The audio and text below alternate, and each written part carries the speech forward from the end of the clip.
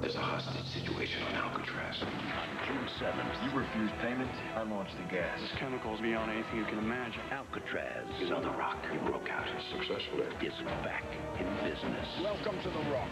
From the producers of Top Gun and Crimson Tide, You join this? Sean Connery, Nicolas Cage, Ed Harris, That's just about the most awful thing I've ever seen. The Rock, directed by Michael Bay, rated R.